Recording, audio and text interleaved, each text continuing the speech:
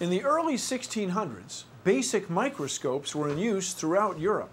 Gentlemen scientists were held spellbound by their ability to enlarge the universe of the very small. Then in 1665, an English scientist named Robert Hooke observed the tiny boxes in a sliver of cork and called them cells because they reminded him of the small rooms lived in by monks. Hooke's observation set the stage for our first great discovery.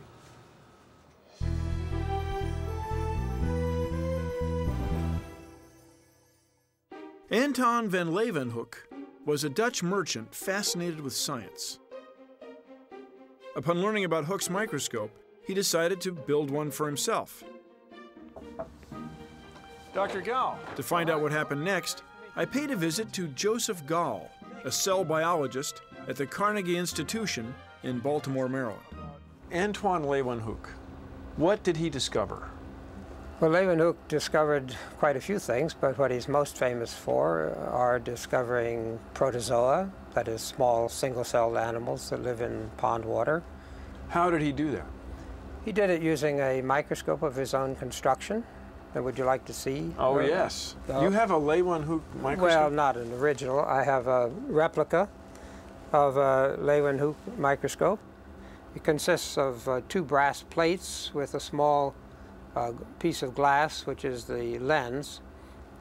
And the way you use this is to put the specimen on the pin here, and then you hold your eye up very close to the lens on this side, and when you do that, you can see the point of the uh, pin, and you can put the specimen, whether it's an insect or whatever, on that uh, pin. Uh, would you like to take a look at it? Yeah. It's kind of heavy because it's brass. Well, it's brass. He made them. In 1675, Van Leeuwenhoek was using his microscope to examine a bead of water when he observed something extraordinary a world filled with creatures that no human had ever seen microorganisms. So, with this, with all due respect, primitive gizmo, yes, he discovered single-celled animals, exactly. things we, we take for granted yes. now.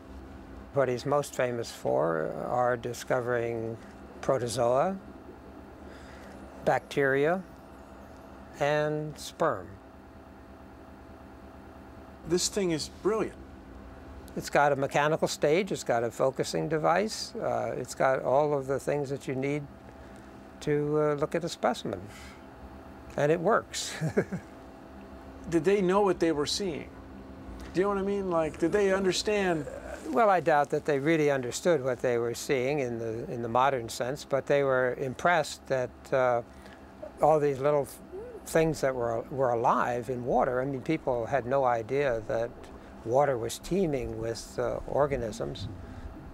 I guess I just had no idea the thing was this small and delicate, mm -hmm. Mm -hmm. and frankly, so elegant because it's palm of your hand, and what you see on the tip of that pin changes the world. It does, indeed.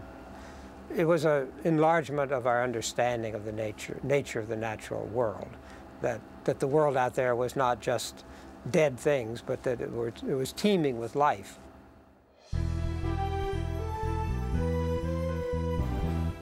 Our next great discovery occurred in 1831. English naturalist Robert Brown was studying the different types of plant species he'd collected during a voyage to Australia. Brown had an exquisite eye for detail. The cells of the plants were of particular interest to him. While examining them under his microscope, he saw something intriguing. In each cell, a similar structure, circular, opaque. He called it the nucleus. Upon learning of Brown's observations, German physiologist Theodor Schwann began looking for a similar structure in the cells of tadpoles. And he found it. Each and every cell of the tadpole had a nucleus as well. It was a revolutionary breakthrough. Here was evidence that all life was connected. In this book, Schwann describes various cell types from all sorts of organisms and identifies them by the fact that they have a nucleus in them. How would you say the discovery of the nucleus was a great discovery? The realization that there was a unit of structure to all organisms. This was a unit of structure not only in plants but in animals. So it united both the plant and the animal kingdoms into something that had uh, similarities uh, to each other.